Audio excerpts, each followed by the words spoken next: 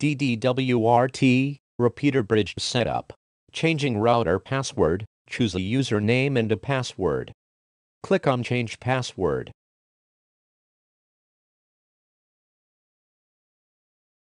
Go to Setup. Rename the router name, or let as it is. In local IP address, choose 192.168.0.2, assuming that your primary router IP ends on 0.1. The gateway in local DNS is the IP address of your primary router.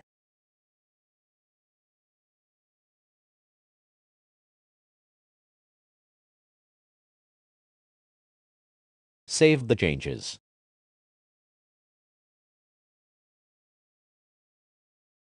Go to Wireless tab. On wireless mode, choose Repeater Bridge. Now the wireless network mode must match the primary router, if is G, N, or let it stay mixed.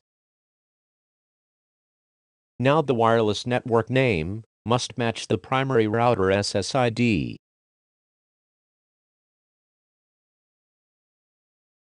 In wireless channel, must match primary router, or try auto.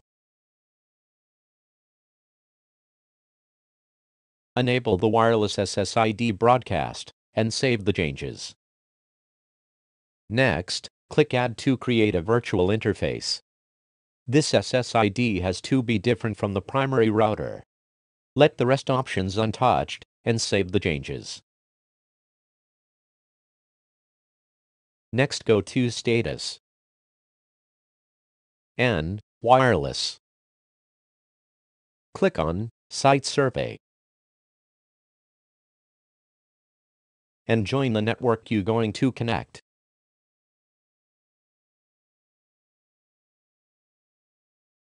If successful, click Continue.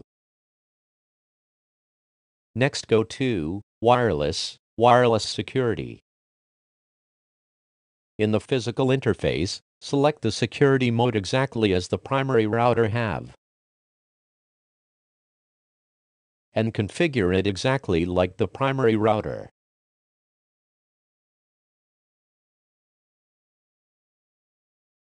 For the virtual interface, select the same settings.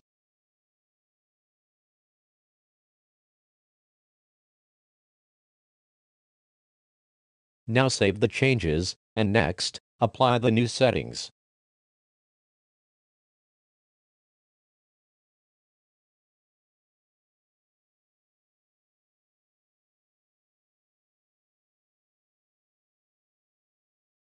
Now to test, on the address bar of your browser, rename the IP address to the new address, 192.168.0.2. If takes a little time to renew, it's because we have to renew the DHCP lease. On Mac, go to System Preferences, Network. Select the connected interface and click Advance. And on TCP IP tab, click Renew DHCP lease.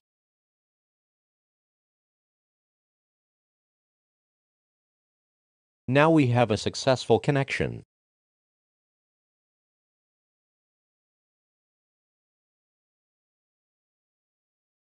We can go to the internet and also to the primary router page.